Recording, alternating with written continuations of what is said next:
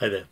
It's April the 3rd, and today, continuing our journey through the Torah, we're in Deuteronomy chapter 23 to 25.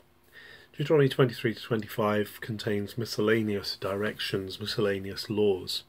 The first thing that uh, Deuteronomy 23 does is it excludes certain people from the congregation, certain men from the congregation who have things wrong with them because they are to be whole and complete but also certain nationalities are to be excluded because of their animosity towards Israel.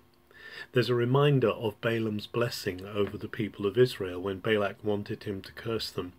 A reminder that they are a blessed people. But interestingly, they're not to hate the Egyptians because they dwelt in the land of the Egyptians. The Egyptians actually hosted them, so they are not to include the Egyptians uh, in their hatred, in their rejection. There then follows laws of hygiene and sanitation, practical things, how to keep the tent, how to keep the camp clean, how to keep themselves clean. There's also an element of protection for escaped slaves. They're not to return an escaped slave to their master. There's also no usury, no interest to be charged to fellow Israelites. They're to lend without interest. Also, vows are to be kept. If someone makes a vow, it's important that vow is kept, but of course, they don't have to make a vow.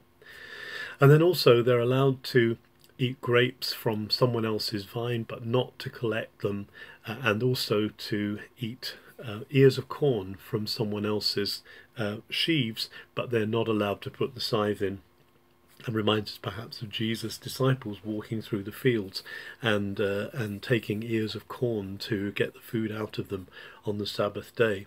That's that's okay according to this law in Deuteronomy. Then in Deuteronomy 24 there's the law of divorce, which Jesus said was there because of their hardness of heart. But there is space in the law of Moses to divorce uh, a, a wife who is not pleasing to a husband. Then there's the opposite, and that is that the newly married are free for a year. The man is free, particularly from uh, military service, so that they can enjoy their honeymoon period together of a whole year. There are warnings against leprosy, there are um, prosecutions for theft, but there's also a warning that children are not to die for the crimes of their fathers. Only the person who has committed the crime is actually to carry the penalty. So there's no um, right of wiping out whole families because of crimes. Perversion of judgment is forbidden. If there's any bribery and so on, they're not allowed to pervert judgment. And also there's instructions again to leave gleanings for the poor, this time the gleanings of the vine and the gleanings uh, of the olive tree, so that they don't completely go back and beat all the boughs, beat everything off the boughs, but they leave something there for the poor. In Deuteronomy 25, we see that where there is corporal punishment imposed, where there's lashes imposed, the maximum that mercifully can be given is 40 lashes. We know, of course, that the Apostle Paul refers to that, that he suffered the 40 lashes, and that there were not allowed to be more by law of 40.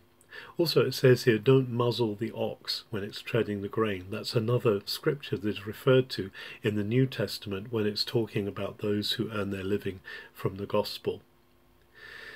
And then it's instructions on what's called levirate marriage. Levir meaning brother-in-law. The this is when a, a, a, man dies and his brother is called to raise up family for him with the dead man's widow. However, he doesn't have to do this.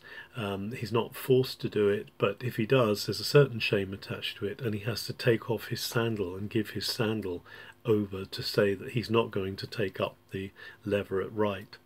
We see this reflected again in the book of Ruth later on in the scriptures, where um, Boaz goes and encounters one who is closer to Ruth, who should redeem her, who should uh, raise up children, for her hus dead husband, but instead he gives his sandal over to Boaz, and Boaz inherits the right to marry Ruth. There's a final um, encouragement not to have unjust weights. Weights and measures actually are very important to God. They're a sign of his justice. And a last uh, warning against the Amalekites and the fact that the uh, Amalekites are to be uh, are, are, to be wiped out because of the way that they treated the Israelites. So there's a number of, uh, of instructions and regulations laid down for Israel. Um, the main thing being that God wants justice for the poor, particularly that picture of the gleaning that goes on, and also there are instructions about not taking a poor man's garment from him in loan. God has a heart for the poor. God does not want to see the poor oppressed. Have a very good April the 3rd.